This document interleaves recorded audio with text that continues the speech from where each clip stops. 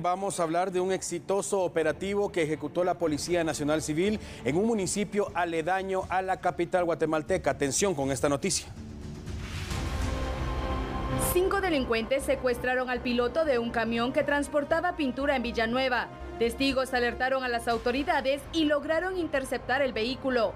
Permite sacar de circulación a cinco presuntos robacamiones, robafurgones que operan en el sur del país.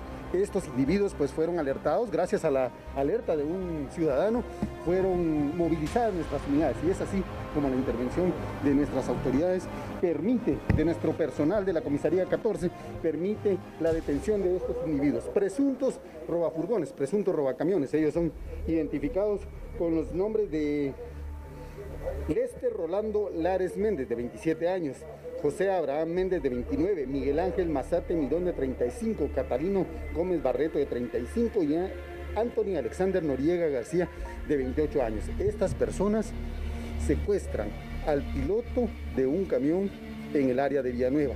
Nuestros agentes tienen conocimiento mediante una denuncia, se movilizan las unidades y pues la interceptación del vehículo es fundamental.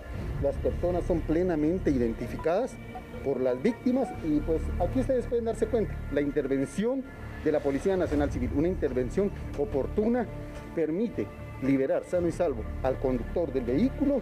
Además de ello, se recupera el camión cargado con mercadería valorada en 100 mil quetzales. La víctima fue rescatada, además del producto valuado en 100 mil quetzales.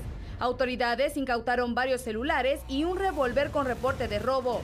Los presuntos secuestradores y ladrones fueron trasladados al juzgado de Villanueva, donde deberán solventar su situación legal.